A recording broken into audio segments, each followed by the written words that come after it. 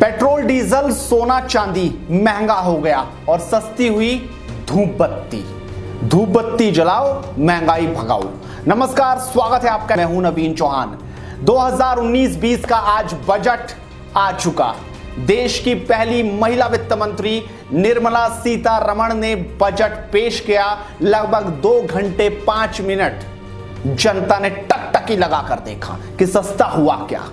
महँगाई तो बहुत हुई लेकिन सस्ते के चक्कर में जनता दो घंटे टीवी पर देखती रही, लेकिन सस्ता हुआ धूप बत्ती आखिर क्या सस्ता, क्या महँगा, वही आपके लिए लेकर आए हैं। तो चलिए शुरुआत करते हैं। सबसे पहले बात करते हैं कि आखिरकार महँगा क्या हुआ है, क्योंकि महँगाई बहुत ज़रूरी है, तभी तो पैसा बचेगा।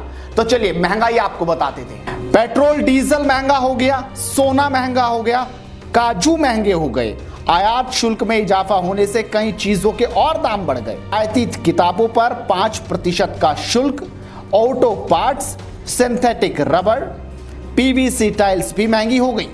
तंबाकू उत्पाद भी इस बजट के बाद महँगे हो गए। सोने के अलावा चांदी और चांदी के आभूषण खरीदने के लिए भी अब अतिरिक्त रुपए खर्च करने होंगे। ऑप्टिकल फाइबर स्टेनलेस उत्पाद और मूल धातु के उपकरण महँगे हो चुके हैं। यानी ये तो वो चीज़ें हैं जो आपकी जेब पर असर डालेगी। लेकिन वो चीज़ें कौन से हैं जो आपका पैसा बचाएगी? यानी क्या क्या चीज़ें सस्ती हुई हैं? तो चलिए उन पर नज़र डालते हैं। दरअसल 2019 के बजट के बाद इलेक्ट्रिक कारें सस्ती हो जाएँगी। भले ही अभी मार्केट में कम हो। होम लोन सस्ता हो जाएगा। मतलब घर खरीदना सस्ता। सस्ते घरों के लिए ब्याज दर पर तीन दशमलव पाँच लाख रुपए की छूट मिलेगी। साबुन सस्ता हो गया। शैम्पू, बालों का तेल टूथपेस्ट, डिटर्जेंट, बिजली का घरेलू सामान जैसे पंखे, लैंप, ब्रीफकेस, यात्री बैग, सैनिटरी, बोतल, कंटेनर, रसोई में प्रयुक्त होने वाला सामान जैसे कि बर्तन।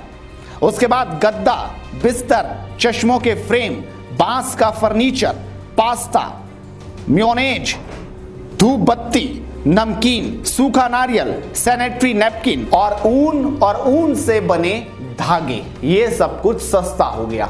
इसमें मैंने कहा था धूप बत्ती भी है। तो अब भैया, महँगाई बहुत जगह बढ़ चुकी है। पेट्रोल, डीजल जो लगातार आप अपने बाइक और कार में अब डलवा रहे थे, थोड़ा सोच समझ के डलवाइएगा, क्योंकि अब उनके दाम बढ़ते नज़र आएँगे। सोना चांदी अगर अब तक नहीं खरीदा तो खरीद लीजिए, क्योंकि एक दो दिन में वो भी थोड़ा आपको महँगाई दिखने वाला है। तो क्या सस्ता, क्या महँगा, आपने अच्छे से जाना। आपकी क्या राय है? अपनी राय रखिए इस वीडियो को शेयर कीजिए सब्सक्राइब कीजिए।